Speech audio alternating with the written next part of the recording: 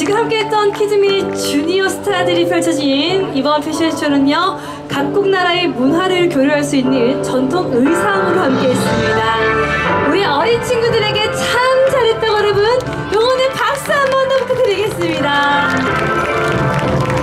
너무나 예쁜 어린 친구들이 네, 각 나라를 대표하는 의상들로 함께했습니다. 여러분 어떻게 즐거우신가요? 나는 오늘 이곳에 왔더니 정말 세계를 여